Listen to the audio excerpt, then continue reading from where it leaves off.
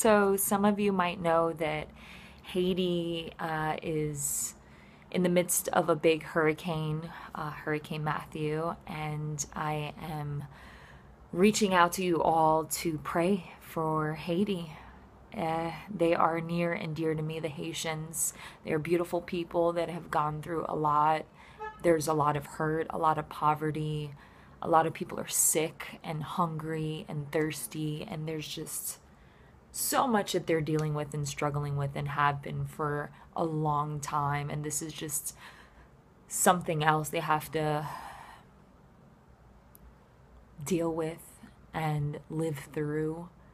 And we need to weep with them. We need to feel for our brothers and sisters who are uncomfortable right now and are hurting right now and are dying right now.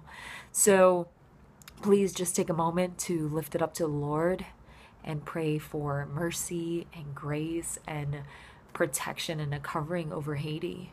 A lot of people need to feel some hope right now and to feel God's hand on them. So we need to come together and lift them up.